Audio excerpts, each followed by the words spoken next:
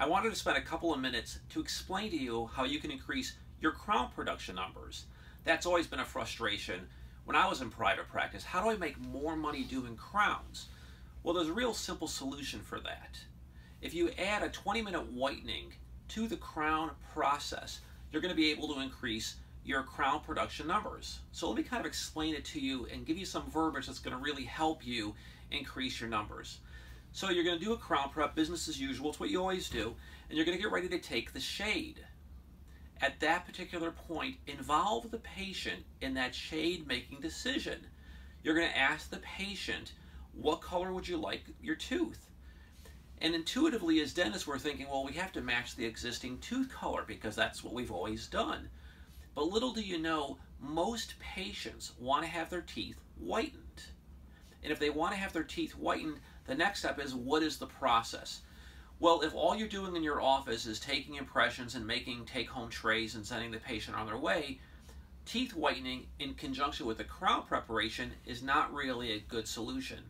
But if you were to have a 20 minute in office whitening along with the crown preparation, then it becomes a perfect solution. So, what's the sequencing of events? Let's go through this because it's only a couple of steps and it's a really easy thing to get started.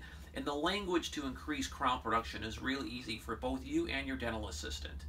So, you're going to do the crown preparation. You're going to ask the patient what color they want their tooth. They're going to kind of look at you inquisitively and they're going to say, What do you mean?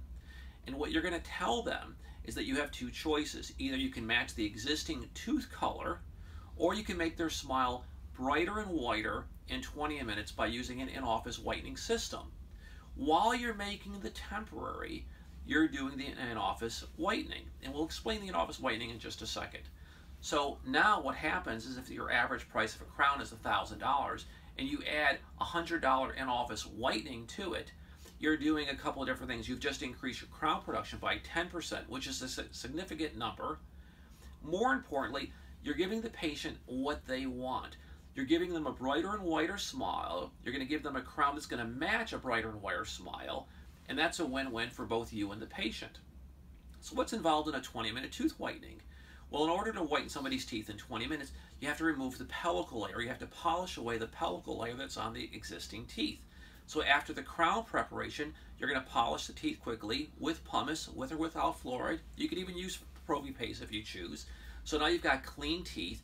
You're going to do a 20 minute tooth whitening, and then you're going to go ahead and take the shade. So by the time you finish making the temporary, which is a short procedure, but by the time you finish making the temporary, the teeth will be brighter and whiter. So now you're going to take a shade, you're going to give the patient a brighter and whiter crown, they're going to be happy, you're going to be happy, and in fact, the word of mouth, just from giving the patient what they want, which is a brighter and whiter smile in conjunction with the crown preparation, will allow your crown preparation revenue to soar. Imagine that if you, for example, do maybe about forty or fifty thousand dollars a month just in crown and bridge preparation. If you can increase that by just 10% by giving patients a 20 minute whitening, you've increased your crown preparation revenue by almost $50,000 for the year.